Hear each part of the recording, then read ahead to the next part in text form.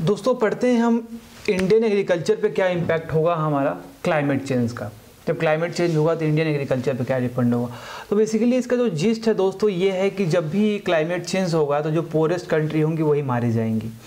क्यों forest country मारी जाएँगी? क्योंकि उनका जो इकोनॉमी होती है वो एग्रीकल्चर पर डिपेंड होती है। एग्रीकल्चर पर डिपेंड होने के साथ उनका बहुत सारी पॉपुलेशन नियरली फिफ्टी परसेंट ज़्यादा पॉपुलेशन डेवलपिंग कंट्री में, वो डिपेंड होती है रोज़ी रोज़ी रोज़ी रोटी के लिए एग्रीकल्चर पे। तो जब भी हमारा क्लाइमेट चेंज होगा तो रेनफॉल या तो इंक्रीज़ करेगा, या तो डिक्रीज़ करेगा, ठीक है?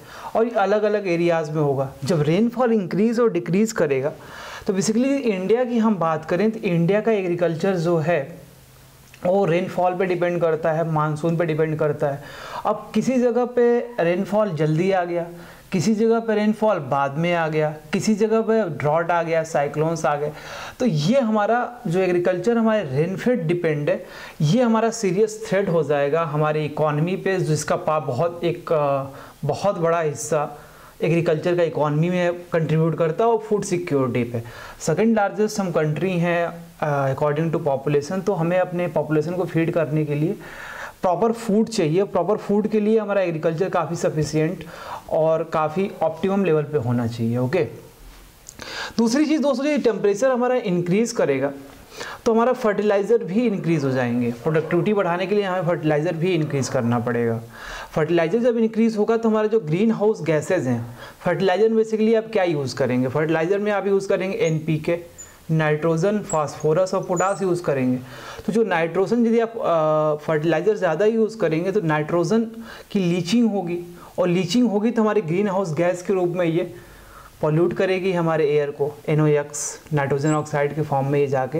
एटमॉस्फेयर में चली जाएगी तो ग्रीन हाउस गैस हमारा इमिशन बढ़ जाएगा और हमारा एटमॉस्फेयर पॉल्यूट होगा एयर पॉल्यूशन होगा।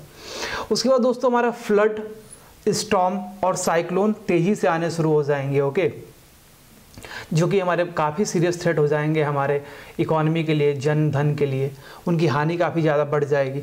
और वाटर प्रॉब्लम आपको पता ही है, होती ही होती है एरिड और सेमी एरिड रीजन में। तो सेमी एरिड और एरिड रीजन में प्रॉब्लम होती है, जब टेम्परेचर इंक्रीज़ कर जाएगा तो और सारी प्रॉब्लम यहाँ पर इंक्रीज़ कर जाएँगी हमारे एरिड और सेमी एरिड रीजन में। इसके बाद दोस्तों हमारा प्रिडिक्टेड है कि तो 2050 तक जो हमारा वेस्टर्न इंडिया है पंजाब का रीजन राजस्थान का रीजन ठीक, इस रीजन में क्या हुआ कि हमारा रेनफॉल बिट इंक्रीज करेगा, लेकिन सेंट्रल इंडिया में बात करें एमपी और उनके लगे हुए राज्यों में बात करें तो वहाँ पर रेनफॉल हमारा डिक्रीज करेगा।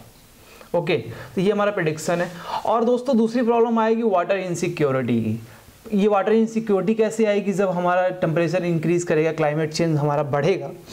तो कैसे आएगी ये देखते हैं। दोस्तों, क्या हुआ? कोस्टल एरियाज़ में हमारा water level increase water increase करेगा।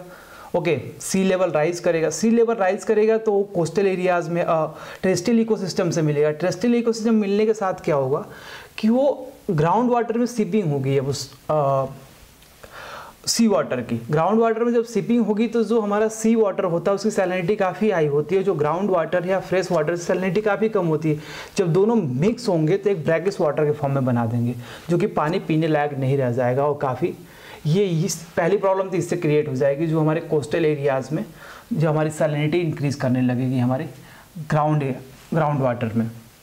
उसके बाद दोस्तों ग्राउंड वाटर में ही क्यों दोस्तों? ग्राउंड वाटर के साथ साथ आप कह सकते हैं आपके लेक्स में पॉन्ड्स में और रिवर्स में जो उनसे सबमर्ज करती हैं साथ में तो वहाँ पे भी तो हमारा ग्राउंड वाटर में सैलिनिटी वहाँ पे भी तो इंक्रीज़ करने लगेगी, जो हमारा फ्रेश वाटर है। तो ये बहुत बड़ी प्रॉब्लम है थ्रेट आने की संभावना है। उसके बाद जैसे हमारा टेम्परेचर इंक्रीज होगा दोस्तों तो हमारा ग्लेशियर मेल्ट होने शुरू होंगे। ग्लेशियर जब मेल्ट होने शुरू होंगे तो ये जो हमारे ग्लेशियर मेल्ट होते हैं ग्लेशियर बेसिकली हमारे जो सीजनल रिवर्स हैं, उनको फ़ीड करती हैं वाटर सीजनल रिवर्स को हमारा वाटर फ़ीड करती हैं।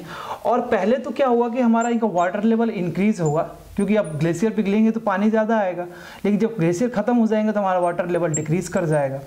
ओके तो ये सीरियस थ्रेट हो जाएगा हमारे एग्रीकल्चर के लिए और इतनी बड़ी पॉपुलेशन है इंडिया में, उनको फ्रेश वाटर अवेलेबिलिटी के लिए। पहली चीज़ तो ये प्रॉब्लम हो जाएगी। और ये 2050 तक होने की संभावना है। उसके बाद दोस्तों रेनफॉल कई कई रीजन में इंक्रीज करेगा, कई रीजन में डिक्रीज करेगा। और मेन चीज़ क्या होगा? फ्रेश वाटर उसके बाद रेनफॉल इंक्रीज डिक्रीज बताई दी आपको। उसके बाद अगला हमारी प्रॉब्लम क्या होगी फ्रेश वाटर का पॉल्यूशन होना शुरू हो जाएगा। तो बेसिकली इसमें हो गया रहा है। पहली चीज़ एग्रीकल्चर में बहुत ज़्यादा प्रॉब्लम्स आ रही है।